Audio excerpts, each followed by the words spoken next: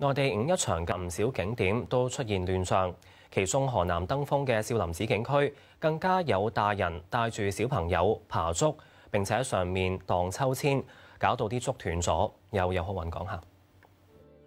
喺河南登封嘅少林寺景區，寺內一片竹林遭到摧殘，幾十個大人帶住小朋友喺竹林裏面爬竹。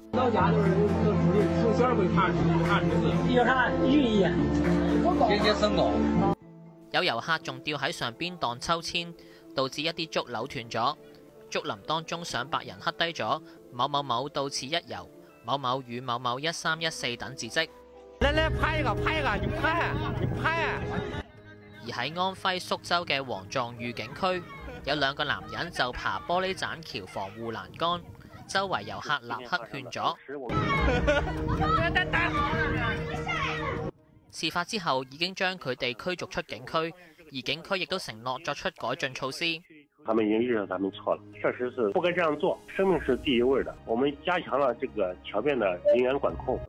有线电视记者尤浩云报道。